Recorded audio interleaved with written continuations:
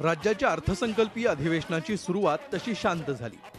पहिला दिवस राज्यपालांचं अभिभाषण आणि दुसरा दिवस कामकाजात गेल्यावर तिसऱ्या दिवसापासून काँग्रेस आणि राष्ट्रवादी काँग्रेस हे दोन्ही विरोधी पक्ष शेतकऱ्यांच्या कर्जमाफीच्या मुद्द्यावर आक्रमक झाले. कोणतंही कामकाज न होता अधिवेशनाचा तिसरा दिवस संपला. चौथ्या दिवशीही विरोधक कर्जमाफीच्या मुद्द्यावर आक्रमक होते. चौथ्या दिवशी विरोधकांना याच मुद्द्यावर शिवसेनेची साथ मिळाली.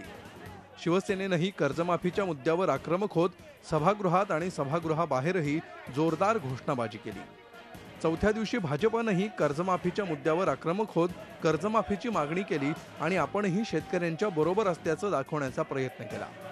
पाचव्या दिवशीही विरोधकांसह शिवसेनेनं या मुद्द्यावरचं आंदोलन सुरू ठेवलं आणि पाचव्या दिवशीही अधिवेशनाचं कामकाज होऊ शकलं नाही. विरोधकांबरोबर कर्जमाफीचा मुद्दा आता दुसऱ्या आठवड्यातही शिवसेना लावून धरणार आहे. तसे आदेशच पक्षप्रमुख उद्धव ठाकरेंनी आपल्या आमदारांना दिले आहेत. कुठल्याही परिस्थितीमध्ये महाराष्ट्रातल्या शेतकऱ्याची कर्ज मुक्ती झाली पाहिजे. कर्जातून बाहेर पडला पाहिजे सातबाराचा उतारा कोरा झाला पाहिजे. ही मागणी कालही उद्धव साहेबांची होती आजही आहे.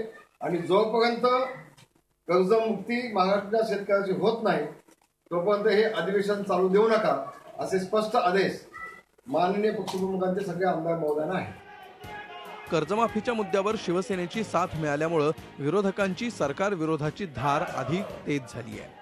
शिवसेनेनं भाजपविरोधात अधिक आक्रमक व्हावं यासाठी विरोधकांकडून शिवसेनेला आणखी चेतवण्याचा प्रयत्न होतोय. विरोधी पक्षनेते धनंजय मुंडेंचं ट्विट त्याचाच एक भाग म्हणावा लागेल. मुंडे आपल्या ट्विटमध्ये म्हणतात शेतकरी कर्जमुक्तीसाठी शिवसेनेनं आपल्या आमदारांना आक्रमक होण्याचा सल्ला देण्यापेक्षा आपल्या मंत्र्यांना राजीनामे देण्याचे आदेश द्यावे आम्ही सर्वच काँग्रेस राष्ट्रवादी काँग्रेस विरोधी पक्षाकडून शेतकऱ्यांच्या कर्जमाफीची सरकारने घोषणा करावी अशी मागणी करतो. सत्तेत सहभागी असणाऱ्या शिवसेनेने सुद्धा आता पाठिंबा दिलेला आहे. आणि त्यामुळे आता ताबडतोबीनं कर्जमाफीची घोषणा शासनानं करावी अशी आमची मागणी आहे.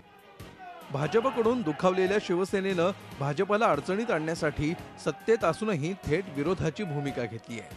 मात्र शिवसेना सध्या तरी या मुद्द्यावर सत्तेतून बाहेर पडण्याच्या मनस्थितीत दिसत नाही. राज्यातील शेतकऱ्यांची कर्जमाफी जोपर्यंत होत नाही तोपर्यंत अधिवेशनाचं कामकाज चालू देणार नाही अशी भूमिका विरोधकांसह सत्तेत सहभागी असलेल्या शिवसेनेने घेतली आहे. त्यामुळे या मुद्द्यावरती विधिमंडळाच्या अर्थसंकल्पीय अधिवेशनात भाजप एकाकी पडल्याचं चित्र आहे. याच मुद्द्यावर या आठवड्यात सुद्धा विरोधक आणि शिवसेना आक्रमक राहणार असल्यामुळे अधिवेशनाचं कामकाज चालण्याची शक्यता धुसरच आहे. Deepak Batuse Zee media Mumbai. Zee चोवीस तास. रहा एक पाऊल पुढे.